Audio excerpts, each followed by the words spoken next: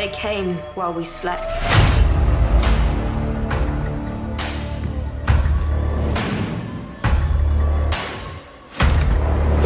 To cleanse the world of our kind.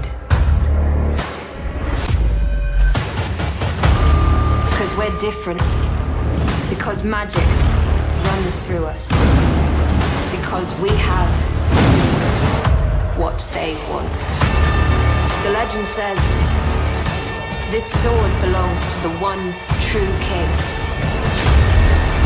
But what if the sword